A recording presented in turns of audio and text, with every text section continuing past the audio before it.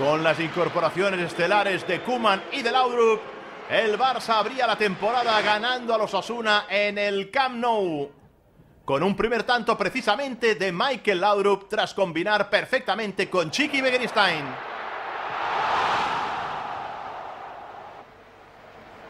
Ya desde el primer día, Laudrup y Chiqui demostraron su entendimiento total. El segundo gol lo marcaría Kuman de penalti, un auténtico maestro. Y asistencia de Robert, Eusebio marcó el tercer gol ante los navarros.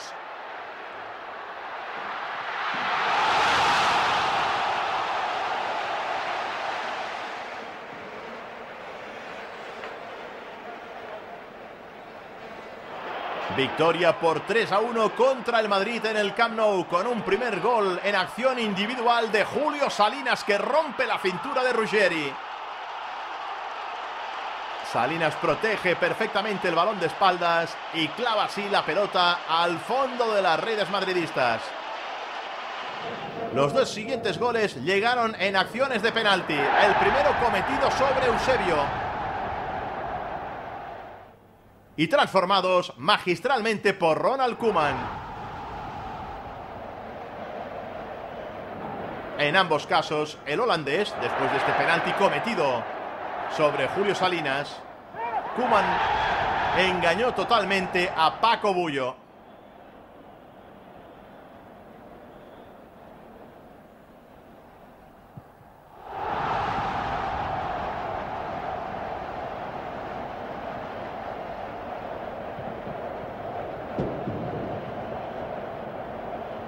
El Rayo se llevaría la goleada de aquella temporada, con un primer gol de cabeza de Julio Salinas.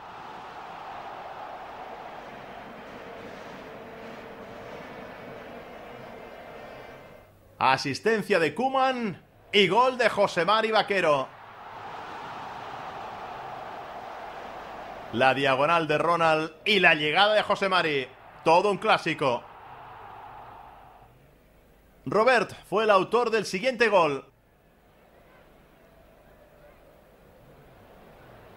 Tras jugada de Julio Salinas.